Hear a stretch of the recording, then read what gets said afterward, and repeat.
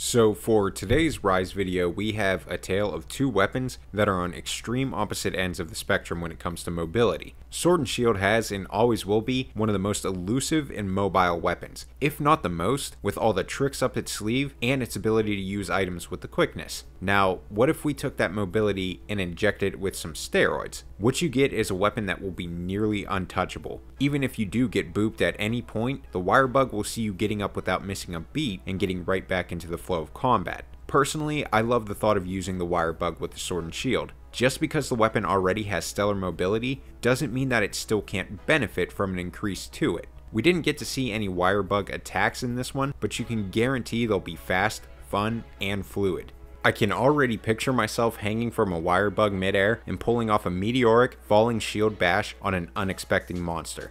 Moving on to the other weapon in the title, heavy bowgun. As we all know with the heavy bowgun, you basically have the mobility and damage capabilities of a tank. Don't get me wrong, I absolutely love to pull off my fat rolls with evade extender and roll halfway across the map, but I can admit that the mobility of heavy bowgun is pretty limited. So now we introduce the wire bug and things change big time. You'll see the benefits in many ways, but it all comes back to mobility. Whether you're playing sticky or spread, the wire bug is going to open up some solid opportunities. If you're playing spread and want to get into the monster's face, attach attach that wire bug to it and fly right up to its doorstep. Maybe you want to get some distance between the two of you. Throw the wire bug out and literally jump over the monster like you're an insect glaive main. Just picture this. You throw the wire bug into the air and as you pass over the monster, throw some stickies on its back, and then walk away in slow motion as the stickies explode. Seriously though, Heavy Bowgun is going to see some extreme value out of the wire bug. Now instead of it being a tank, it will be a tank that can be carried long distances by a bug.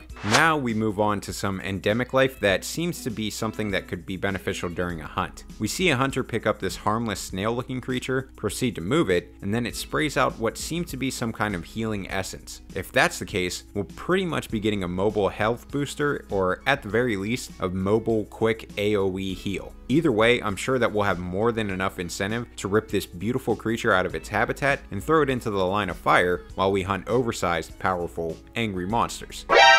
Finally, we end with some of the cutest stuff you'll see this week. Not only do we get blessed with the choice of a doggo or a kitty cat companion, but we also get to have the ridiculously cute interactions with them. We can literally put food on our Palamute's nose and it'll be the goodest, most patient boy in the world. I do have to say that the Palico takes this round of videos though. I mean, you get to have a handshake routine that even NBA players would be jealous of, but you still can't take the cat out of the Palico because they'll still be unable to resist a toy hanging hanging on a string, as it should be. There really is no wrong decision when you're picking between the two, but feel free to let me know what you're to go with in the comments below. But that's to be it for this one. I can't wait to take a deep dive into Rise in the coming months. The more I see, the more I fall in love. Discord and Patreon links are in the description below, so feel free to join the Discord and join in on one of the craziest, most awesome servers you'll ever be a part of. If you like the video, feel free to hit that like button and help me out. Comment down below what you think of the Wirebug mobility and impact it will have on your favorite weapon. Subscribe if you haven't already for more Monster Hunter, Rise, and other gaming content, streams, reviews, and more. Dudes forever, have a good night, and happy hunting.